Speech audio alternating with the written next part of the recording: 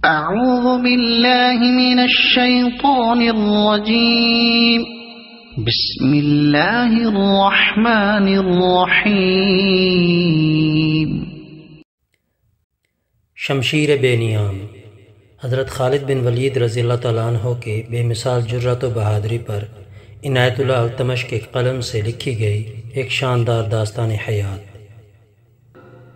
लैला क्या तू औरत है एक औरत ने अपने बच्चे की खून आलूद लाश लैला के आगे करते हुए चिल्लाई, तू औरत होती तो अपने खाविंद का हाथ रोकती कि बच्चों का खून ना कर।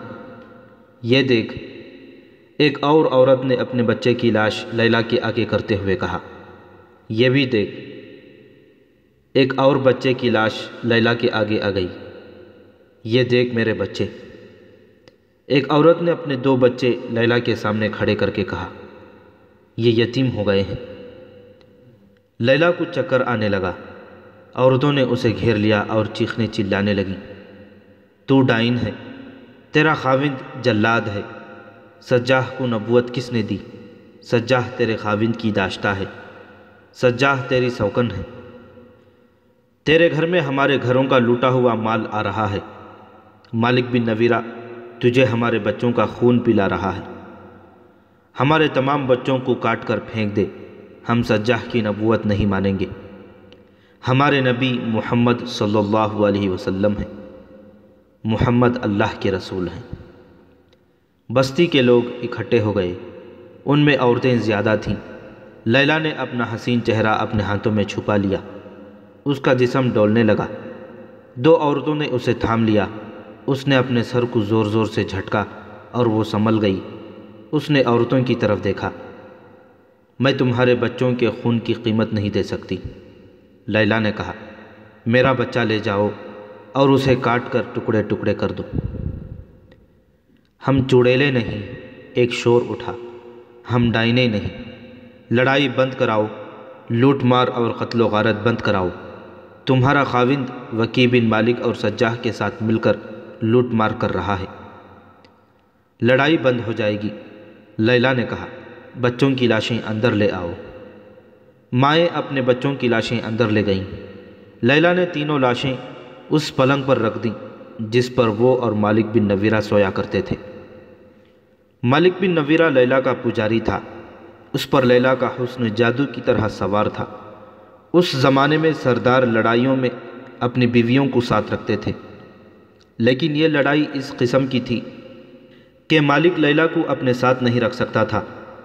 लैला से वो ज़्यादा देर तक दूर भी नहीं रह सकता था।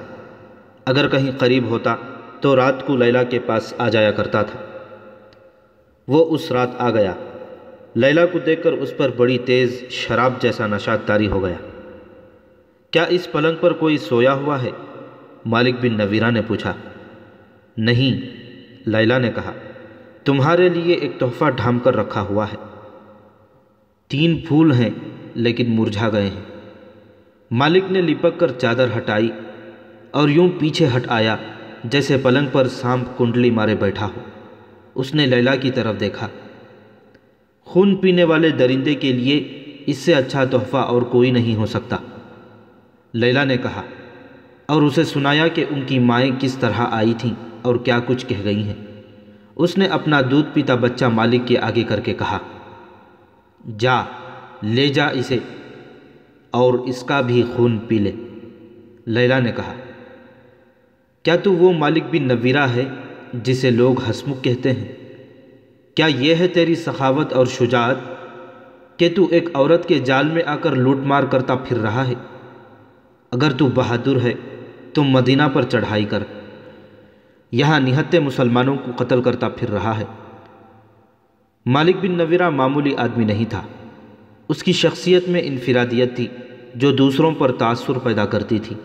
उसने ताने कभी नहीं सुने थे। उसका सर कभी झुका नहीं था। क्या यह है तेरा गुरूर? लैला ने उसे खामोश खड़ा देखकर कहा, क्या तू इन मासूम बच्चों की लाशों पर तकबर करेगा? एक औरत की खातिर। एक औरत ने तेरा गुरूर और तकबर तोड़कर तुझे कातिल और डाकू बना दिया है। मैं अपने बच्चे को तेरे पास छोड़कर जा रही हूँ। पीछे से एक तीर मेरी पीठ में भी उतार देना। लैला, मालिक बिन नवीरा गरज कर बोला, मगर बुझ के रह गया और मुजरिम सी आवाज़ में कहने लगा, मैं किसी औरत के जाल में नहीं आया। झूठ ना बोल मालिक, लैला ने कहा, मैं जा रही हूँ, सज्जाह को ले आ यहाँ। ये याद रख ले। तेरी सरदारी, तेरी खूबसूरती, तेरी शायरी और तेरी खूंख्वारी तुझे इन मरे हुए बच्चों की माओं की आहों और फरियादों से बचा नहीं सकेंगी। ये तो सिर्फ़ तीन लाशें हैं। बस्तियों को लूटते मालूम नहीं कितने बच्चे तेरे घोड़ों के कदमों तले कुचले गए होंगे। तू सज़ा से बच नहीं सकेगा। तेरा भी खून बहेगा और मैं किसी और की बीवी होंगी। मालिक बिन नवीरा ने यूँ चौंक कर लैला की तरफ़ देखा, जैसे उसने उसकी पीठ में खंजर घोंप दिया हो। वो आहिस्ता आहिस्ता चलता बाहर निकल गया। मालिक रात भर वापस ना आया। सुबह तुलू हुई।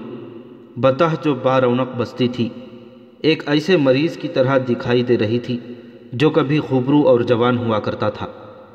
अब उसका चेहरा बेनूर और आँखों में मौत का खौफ रचा हुआ था। बतह की औरतों के चेहरों पर मरूनी छाई हुई थी। ये उस मारधाड़ का नतीजा था जो बनु तमीम में हो रही थी। सूरज की पहली किरणें आईं तो बतह की गलियों में डरी डरी सी दाखिल हुई। उस वक्त सूरज कुछ और ऊपर उठ आया था, जब बतह में हड़बूंग मच गई। बाज़ औरतें बच्चों को उठाकर घरों को दौड़ी गईं और अंदर से दरवाजे बंद कर लिए। कुछ औरतें अपनी जवान बेटियों को साथ लिए बस्ती से निकल गईं। वो कहीं छुप जाने को जा रही थी। बूढ़े आदमी कमाने और तरकश उठाए छतों पर चढ़ गए। बूढ़ों के अलावा जो आदमी बस्ती में थे, उन्होंने बर्छियाँ और तलवारें निकाल लीं। किसी ने बड़ी बुलंद आवाज़ से कह दिया था कि दुश्मन का लश्कर आ रहा है। दूर ज़मीन से जो गर्द उठ रही थी, वो किसी लश्कर की ही हो सकती थी। बतह में जवान आदमी कम ही रह गए थे। सब मालिक बिन नवीरा के साथ दूसरे कबीलों से लड़ाई में चले गए थे। बतह में जो रह गए थे, उन पर खौफ व हिरास तारी हो गया था। लैला के घर में पलंग पर तीन बच्चों की लाशें पड़ी थीं और वो अपने बच्चे को सीने से लगाए, अपने किले नुमा मकान की छत पर खड़ी थी। वो बार बार अपने बच्चे को देखती और उसे चूमती थी। वो शायद सोच रही थी कि बच्चों के खून का इंतकाम उसके बच्चे से लिया जाएगा। ज़मीन से उठती हुई गर्द बहुत करीब आ गई थी और उसमें घोड़े और ऊँट ज़रा ज़रा दिखाई देने लगे थे। होशियार बनु यरबू खबरदार, बतह में किसी की आवाज़ सुनाई दी। जाने लड़ा दो, डरना नहीं। लश्कर गर्द से निकल आया और करीब आ गया। बस्ती के कई एक आदमी घोड़ों पर सवार, हाथों में बर्छियाँ और तलवारें लिए आगे चले गए। उनका अंजाम ज़ाहिर था। लेकिन उन्हें अपनी तरफ़ आते देखकर लश्कर की तरतीब में कोई फ़र्क ना आया। आगे जाकर वो लश्कर का हिस्सा बन गए। अपने हैं, उन्होंने नारे लगाए। अपने हैं, मालिक बिन नवीरा है। लड़ाई ख़त्म हो गई है। बतह में से भी नारे गरजने लगे। लोगों ने आगे बढ़कर अपने लश्कर का इस्तकबाल किया। मालिक बिन नवीरा कहीं भी ना रुका। वो सीधा अपने घर के दरवाजे पर आया। और घोड़े से कूदकर अंदर चला गया। उसे लैला सहन में खड़ी मिली। उसके दिलकश चेहरे पर उदासी थी और उसकी वो आँखें बुझी बुझी सी थीं, जिन पर कबीले के जवान जाने कुर्बान करने को तैयार रहते थे। मैंने तेरा हुक्म माना है लैला। मालिक ने दौड़कर लैला को अपने बाजुओं में समेटते हुए कहा, लड़ाई ख़त्म कर दी है। हम एक दूसरे के कैदी वापस कर देंगे। मैंने सज्जा से ताल्लुक़ तोड़ लिया है। इस फूल से चेहरे से उदासी धो डालो। लैला का जिस्म बेजान सा था। उसमें वो तपिश पैदा ना हुई, जो मालिक को देखकर पैदा हुआ करती थी। मालिक ने उसे बहलाने की बहुत कोशिश की, लेकिन लैला का चेहरा बुझा ही रहा। मेरे दिल पर एक खौफ बैठ गया है। लैला ने कहा, कैसा खौफ? मालिक ने पूछा, किसका खौफ? सज़ा का, इंतकाम का। सज्जाह अकेली रह गई। वकी बिन मालिक ने भी उसका साथ छोड़ दिया था। मालिक बिन नवीरा ने वकी से कहा था कि वो एक औरत के झांसे में आकर अपने ही कबीलों पर टूट पड़े थे। सज्जाह अपने लश्कर को साथ लिए नबाज की तरफ़ चली गई। पहले सुनाया जा चुका है कि वो यमामा पर हमला करने गई थी, लेकिन मुसलिमा के जाल में आ गई। और मुसलिमा ने उसे अपनी बीवी बना लिया। मालिक बिन नवीरा के गुनाहों की सज़ा शुरू हो चुकी थी। वकी बिन मालिक, जो उसका दस्त रास्त था, उसका साथ छोड़ गया और मुसलमानों से जा मिला। मालिक बिन नवीरा ने उसे रोका था। अगर हम दोनों अलग हो गए तो मुसलमान हमें कुचल कर रख देंगे। मालिक ने वकी से कहा था, हम दोनों मिलकर उनका मुकाबला कर सकते हैं। हमें ज़िंदा रहना है, मालिक। वकी ने कहा था, मदीना की फ़ौज का मुकाबला किसने किया है? गतफ़ान हार गए, तई हार गए, बनु सलीम, बनु असद, हवाजन, कोई भी मुसलमानों के आगे ठहर ना सका। फिर सब इकट्ठे हुए और उम्म जमल सलमा को भी साथ मिला लिया। क्या तुम नहीं जानते मालिक, अलवलीद के बेटे खालिद ने उन्हें किस तरह भगा दिया है? सलमा कत्ल कर दी गई है। मुसलमान हमें मुसलमानों का खून माफ़ नहीं करेंगे। तमाम कबीलों को शिकस्त देने वाला खालिद वापस मदीना नहीं चला गया। वो बजाखा में है। दूसरी तरफ़ मुसलमानों का माना हुआ सिपह सालार उसामा है। उन दोनों में से कोई भी किसी भी वक्त इधर का रुख कर सकता है। उनसे खून माफ़ कराने का तरीक़ा एक ही है कि मैं उनकी इतात कबूल करके उन्हें अपने कबीले की ज़क़़त और महसूल अदा करता रहूँ। मालिक बिन नवीरा कोई फ़ैसला ना कर सका। खालिद बिन वलीद रज़ल्ला तु तक इतला पहुँच चुकी थी कि मालिक बिन नवीरा को रसूल अल्लाह सल्लल्लाहु अलैहि वसल्लम ने अमीर मुकर्र किया था, मगर उसने ज़क़़त वगैरह वसूल करके मदीना न भेजी और लोगों को वापस कर दी है। जासूसों ने खालिद रज़ल्ला तु को मालिक बिन नवीरा का एक शेर भी सुनाया। उसमें उसने रसूल अकरम अलैहि वसल्लम के विसाल के बाद अपने कबीले से कहा था कि अपने माल को अपने पास रखो और मत डरो कि ना जाने क्या हो जाए। अगर इस्लामी हुकूमत की तरफ़ से हम पर कोई मुसीबत आएगी तो हम कहेंगे कि हमने मोहम्मद सल्लल्लाहु अलैहि वसल्लम के दीन को कबूल किया था, अबू बकर के दीन को नहीं। मालिक बिन नवीरा ने सज्जाह के साथ मिलकर मुसलमानों का जो कत्ल आम किया था, उसकी भी इतला खालिद रज़ी तु को मिल गई थी। हज़रत खालिद ने अपने दस्तों को बताह की तरफ़ तेज़ कूच का हुक्म दिया। उनके दस्तों में अनसार मदीना भी थे। उन्होंने बताह की तरफ़ पेशकदमी की मुखालिफत की। खुदा की कसम, हज़रत खालिद ने कहा, मैं अपनी सिपाह में पहले आदमी देख रहा हूँ, जो अपने अमीर और सालार की हुक्म अदोली कर रहे हैं। इसे हुक्म अदोली समझें या जो कुछ भी समझें। अंसार की नुमाइंदगी करने वाले ने कहा खलीफतुलमसलिमिन का हुक्म यह था कि तलीहा को मुती करके उस इलाक़े में रसूलुल्लाह सल्लल्लाहु अलैहि वसल्लम की कायम की हुई अलम्बरदारी को बहाल करें और जो जंग पर उतर आए, उसके साथ जंग करें और बजाखा में अगले हुक्म का इंतज़ार करें हम जानते हैं कि मदीना से ऐसा कोई हुक्म नहीं आया कि हम बताह पर हमले के लिए जाएँ। क्या तुम में से कोई है जिसे ये मालूम ना हो कि मैं तुम्हारा अमीर और सिपह सालार हूँ खालिद बिन वलीद रज़ल्ला तु ने पूछा और सब की तरफ़ देखने लगे। उन्हें कोई जवाब ना मिला तो उन्होंने कहा, मैं नहीं जानता कि खलीफतुलमसलिमिन के साथ तुम क्या मुआहिदा करके आए हो। मैं ये जानता हूँ कि खलीफा ने मुझे हुक्म दिया था कि जहाँ भी इस्लाम से इनहराफ की खबर मिले और जहाँ भी मदीना के साथ किए हुए माहिदों की खिलाफ वर्जी नज़र आए, वहाँ तक जाओ और इस्लाम का तहफ़ करो। मैं सिपह सालार हूँ अपनी ज़िम्मेदारियाँ पूरी करने के लिए। अगर मुझे कोई ऐसी कार्रवाई करनी पड़ेगी जो खलीफा के अहकाम में शामिल नहीं होगी तो मैं वो कार्रवाई ज़रूर करूँगा। खिलाफत के अहकाम मेरे पास आते हैं, तुम्हारे पास नहीं। हमने कोई कासिद आता नहीं देखा, अंसार में से किसी ने कहा। मैं इसका जवाब देना ज़रूरी नहीं समझता, हज़रत खालिद ने झिंझिला कर कहा। और मैं किसी ऐसे आदमी को अपनी सिपाह में नहीं देखना चाहता, जिसके दिल में ज़रा सा भी शक व शुबा हो। मुझे अल्लाह की खुशनुदी चाहिए। मुझे अल्लाह के रसूल सल्लल्लाहु अलैहि वसल्लम की मुक़दस रूह की खुशनुदी चाहिए। अगर तुम्हें अपनी ज़ात की खुशनुदी चाहिए तो जाओ, अपने आप को खुश करो। मेरे लिए महाजरीन काफ़ी हैं और मेरे साथ जो नौ मुस्लिम हैं, मैं उन्हें भी काफ़ी समझता हूँ। मशहूर मौरख तिबरी ने लिखा है कि हज़रत अबू बकर सिद्दीक़ रज़ी अल्लाह तु ने अपने अहकाम में ये शामिल किया था कि बनी असद के सरदार तलीहा की सरकोबी के बाद खालिद रज़ी अल्लाह तु के दस्ते बताह तक जाएँगे, जहाँ के अमीर मालिक बिन नवीरा ने ज़क़़त और महसूलात की अदायगी नहीं की और वो इस्लाम से मुनहरफ होकर इस्लाम का दुश्मन बन गया है। तिबरी और देगर मौरखों ने भी लिखा है कि अनसार बजाखा में रह गए और खालिद रज़ी अल्लाह तु अपने मुजाहिदीन को उनके बग़ैर बताह ले गए। जब यह लश्कर बजाखा से चला तो अंसार ने बाहिम सुलह मशवरा किया।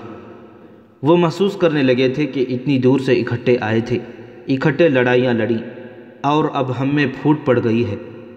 हमें पीछे नहीं रहना चाहिए था और इसलिए भी हमें पीछे नहीं रहना चाहिए था।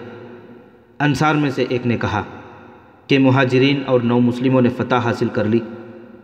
तो उसमें हमारा नाम नहीं होगा। हमें मदीना जाकर शर्मसारी होगी।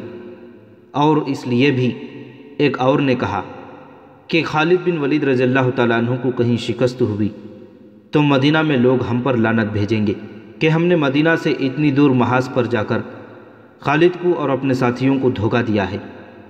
हम मलून कहलाएँगे।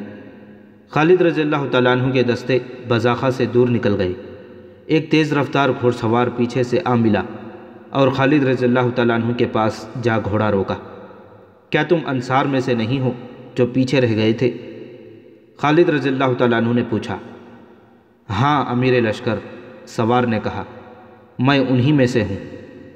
उन्होंने भेजा है कि मैं आपसे कहूँ कि उनका इंतज़ार करें, वो आ रहे हैं। हज़रत खालिद ने अपने दस्तों को रोक लिया। कुछ देर बाद तमाम अंसार आ गए। और दस्ते बताह की तरफ़ रवाना हो गए। लाइला बताह में मालिक बिन नवीरा ने, बताह में मालिक बिन नवीरा अपनी बीवी से कह रहा था, तूने मुझे मोहब्बत दी है, तेरे हुस्न ने और तेरी नशीली आँखों ने मेरे शहरों में नई रूह डाली है। अब मुझे हौसला दो लैला, मेरे दिल में खौफ ने आशियाना बना लिया है। मैंने तुझे पहले दिन कहा था, गरूर और तकबर छोड़ दे मालिक। लैला ने कहा लेकिन तुम इतनी दूर निकल गए कि इंसानों को चूंटियाँ समझकर मसल डाला। मत याद दिला मुझे मेरे गुनाह, लैला, मालिक बिन नवीरा ने कहा। गुनाहों ने मेरी बहादुरी को डस लिया है। आज क्या बात हो गई कि तुम पर इतना खौफतारी हो गया है? बात पूछती हो, लैला, मालिक बिन नवीरा ने कहा। यह मौत की बात है। मेरा दिल गवाही दे रहा है। कि तेरा मेरा साथ ख़त्म हो रहा है। मैंने अपने जासूस बड़ी दूर दूर तक भेज रखे हैं। आज एक जासूस आया है। उसने बताया है कि मुसलमानों का लश्कर बड़ी तेज़ी से इधर आ रहा है। अगर लश्कर की रफ्तार यही रही तो परसों शाम तक यहाँ पहुँच जाएगा। फिर तैयारी करो, लैला ने कहा। कबीलों को इकट्ठा करो। कोई मेरा साथ नहीं देगा। मालिक ने डरे हुए लहजे में कहा, मैंने वकी और सज्जाह के साथ मिलकर अपने कबीलों का खून बहाया है। वो कोई नहीं बख्शेगा। उनसे मुसालिहत तो कर ली थी, लेकिन दिल फटे हुए हैं। मेरे कबीले की मदद को कोई नहीं आएगा। फिर आगे बढ़ो और मुसलमानों की सिपह सालार से कहो कि तुमने इस्लाम तर्क नहीं किया। लैला ने कहा, शायद वो तुम्हें बख्श दें। नहीं बख्शेंगे।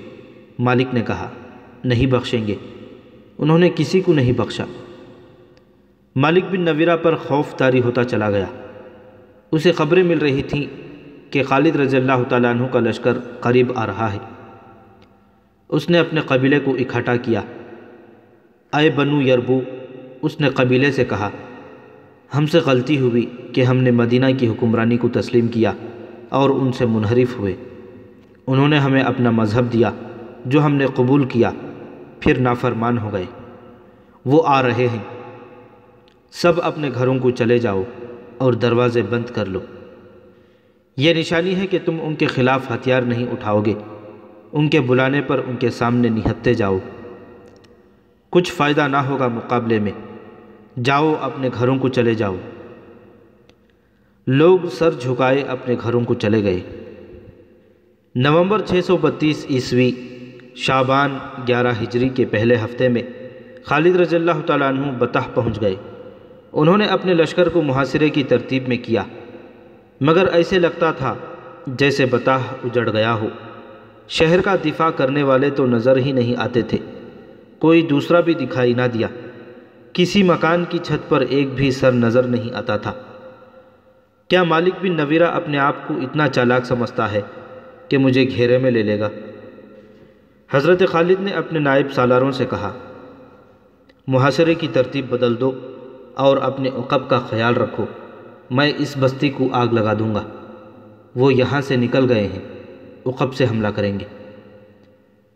खालिद बिन वलीद रज़ी तु ज़िंदा दिल, बेखौफ और मुहिमजू थे। उनके अहकाम बड़े सख्त हुआ करते थे।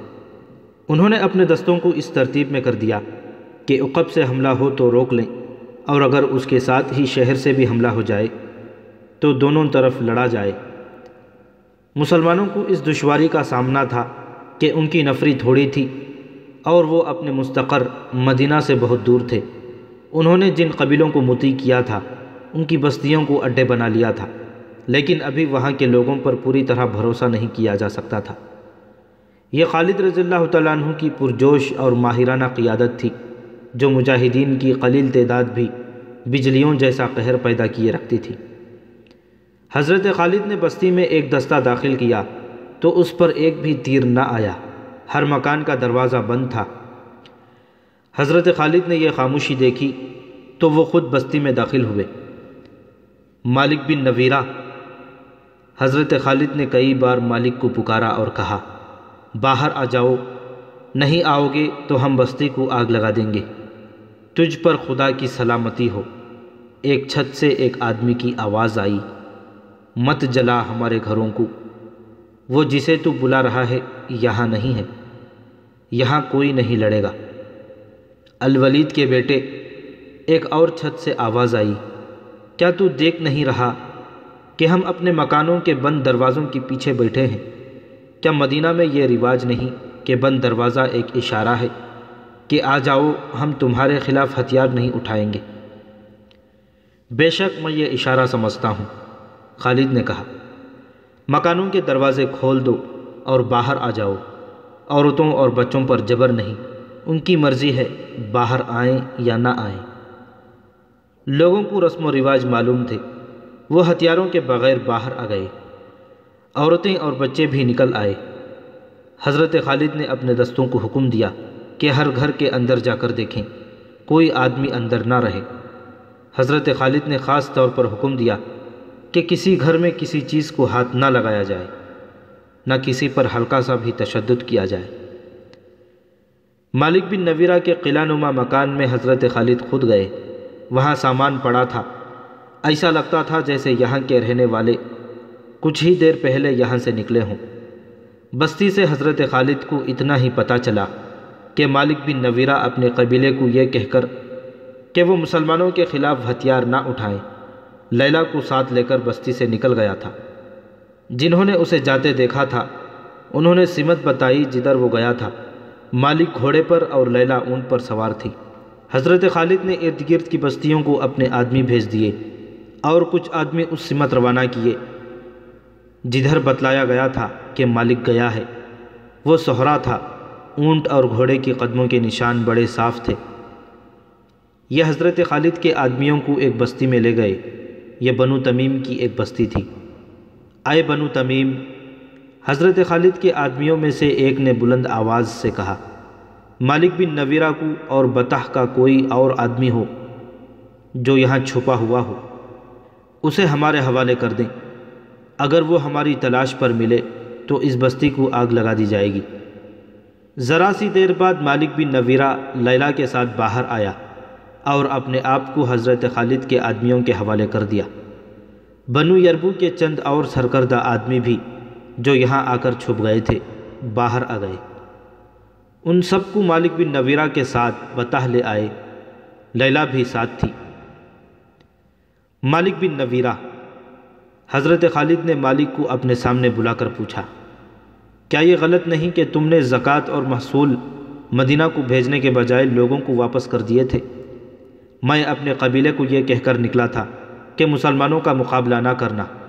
मालिक बिन नवीरा ने जवाब दिया, मैंने उन्हें यह भी कहा था कि मुसलमान हो जाओ और ज़क़़त अदा करो। और तुम खुद इसलिए रोपोश हो गए थे कि तुम इस्लाम से मुनहरफ हो गए थे।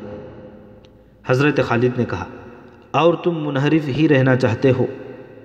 तुमने अपने शहरों में लोगों से कहा था कि वो ज़क़़त और महसूल अदा ना करें, और तुमने उन्हें कहा था कि इस्लामी हुकूमत के अहकाम की तुम खिलाफ वर्जी करोगे, जो तुमने की है। हाँ वलिद के बेटे, मालिक ने कहा, मैंने खिलाफ वर्जी की, लेकिन मैं अपने कबीले से कह रहा हूँ कि वो अब खिलाफ वर्जी ना करें। और तुमने सज्जाह की झूठी नबूत को तस्लीम किया? हज़रत खालिद ने कहा और उसके साथ मिलकर लोगों को कत्ल किया और उन्हें लूटा।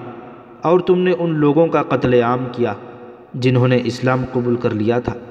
मालिक ने सर हिलाकर इस जुर्म का इकरार किया। क्या तू मुझे बता सकता है कि मैं तुम्हें कत्ल क्यों ना करूँ? हज़रत खालिद ने कहा, मैं जानता हूँ कि तुम्हारे खलीफा ने तुम्हें मेरे कत्ल का हुक्म नहीं दिया। मालिक बिन नवीरा ने कहा, खुदा की कसम, खालिद बिन वलीद रज़ी तु ने कहा मैं तुझे ज़िंदा रहने का हक़ नहीं दे सकता। खालिद रज़ी तु ने वो उजड़ी हुई बस्तियाँ देखी थीं, जो मालिक बिन नवीरा और सज्जाह ने उजाड़ी थीं। हज़रत खालिद ने मालिक बिन नवीरा की बस्ती बताह पर बिला वजह चढ़ाई नहीं की थी। उन्हें तमाम रिपोर्टें मिलती रही थीं कि इस शख्स ने इस इलाक़े में मुसलमानों को किस तरह तबाह बर्बाद किया था। ले जाओ इसे और उसके साथियों को जो उसके साथ रुपोश थे और उन्हें कत्ल कर दो।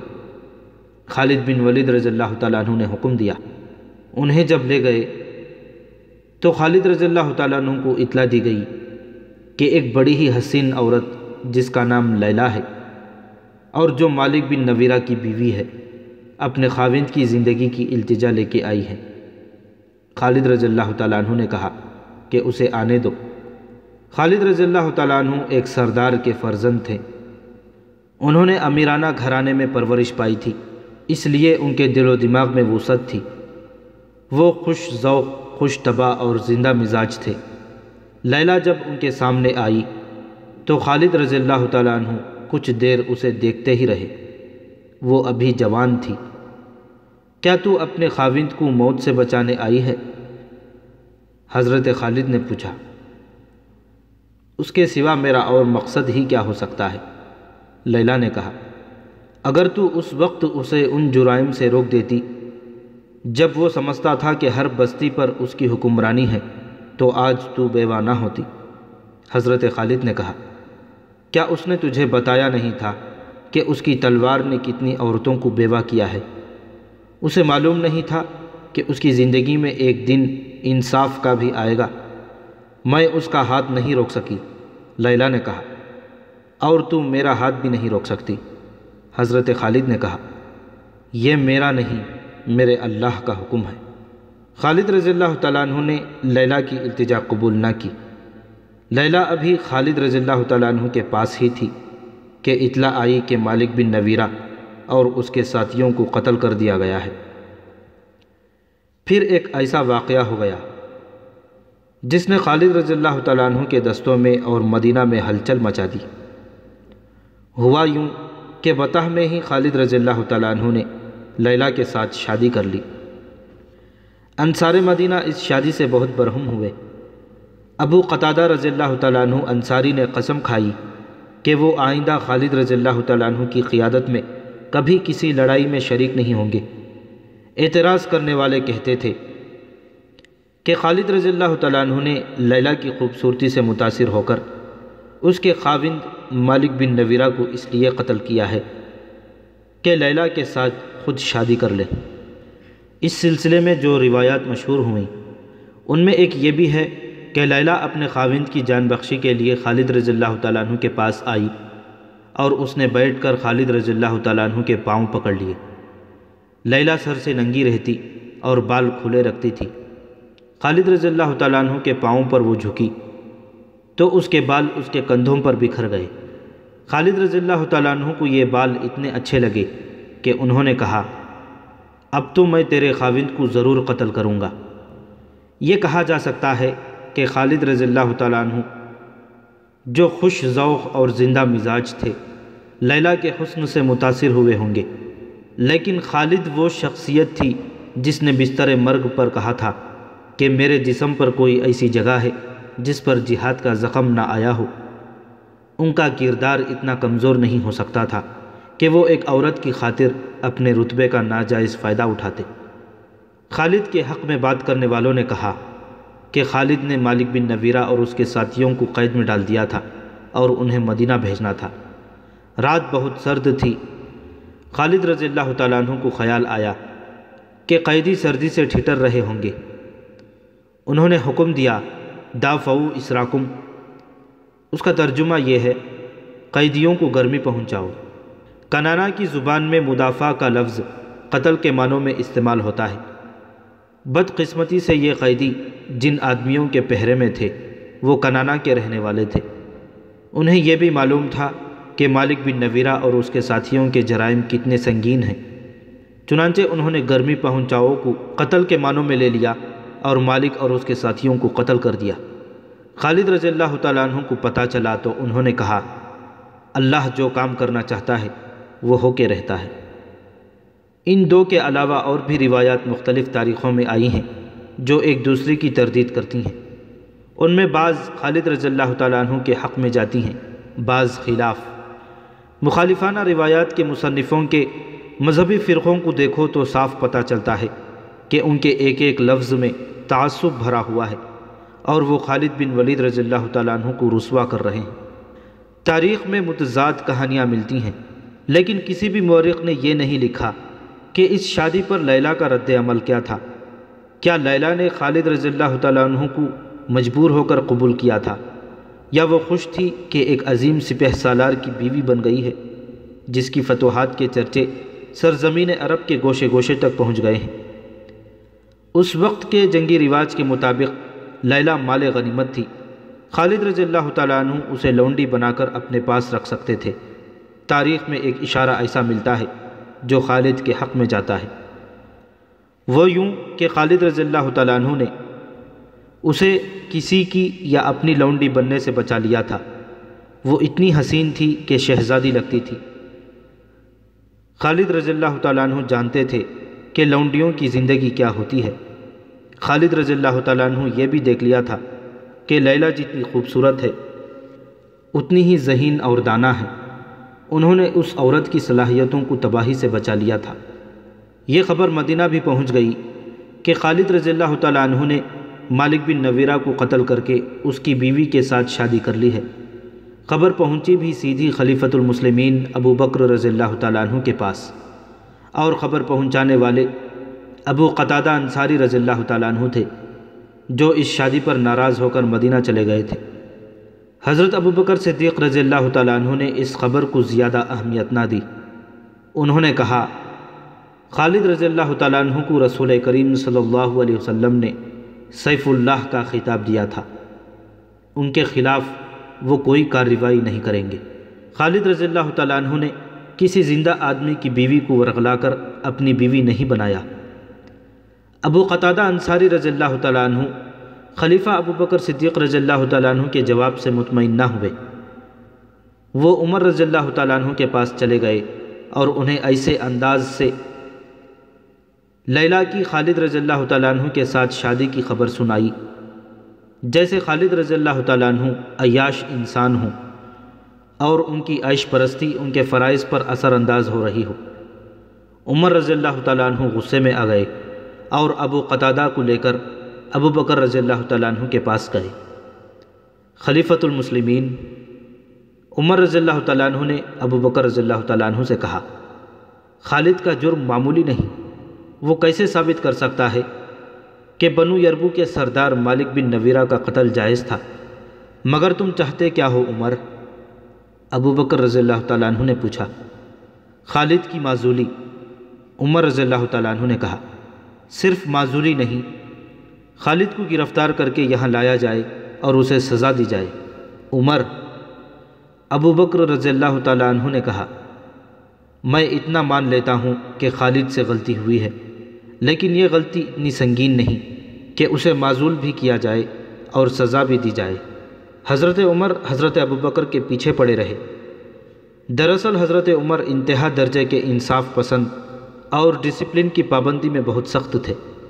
वो नहीं चाहते थे कि सालारों में कोई गलत हरकत रिवाज पा जाए। नहीं उमर, हज़रत अबू बकर ने कहा, मैं उस शमशीर को नियाम में नहीं डाल सकता, जिसे अल्लाह ने काफिरों पर मुसलत किया हो। हज़रत उमर मुतमिन ना हुए। हज़रत अबू बकर हज़रत उमर को भी नाराज़ नहीं करना चाहते थे। उन्होंने खालिद रज़ल्ला तु को मदीना बुलवाया। खालिद रज़ल्ला तु बड़ी मुसाफत तय करके बहुत दिनों बाद मदीना पहुँचे और सबसे पहले मस्जिद नबवी सल्लल्लाहु अलैहि वसल्लम में गए। उन्होंने अपने अमामे में एक तीर उड़स रखा था। हज़रत उमर मस्जिद में मौजूद थे। खालिद रज़ल्ला तु को देखकर हज़रत उमर तैश में आ गए। वो उठे खालिद रज़ल्ला तु के अमामे से तीर खींच कर निकाला और उसे तोड़कर फेंक दिया। तुमने एक मुसलमान को कत्ल किया है, हज़रत उमर ने गुस्से से कहा। और उसकी बीवी को अपनी बीवी बना लिया है, तुम संसार कर देने के काबिल हो। हज़रत खालिद रज़ल्ला तु डिसिप्लिन के पाबंद थे, वो चुप रहे।